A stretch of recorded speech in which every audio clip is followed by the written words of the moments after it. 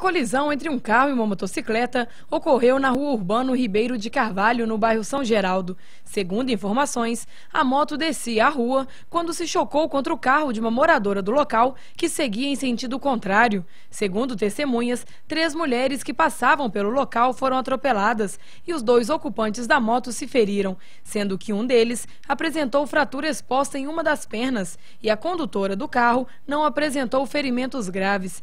As vítimas foram socorridas por ambulâncias do Bombeiro e do SAMU.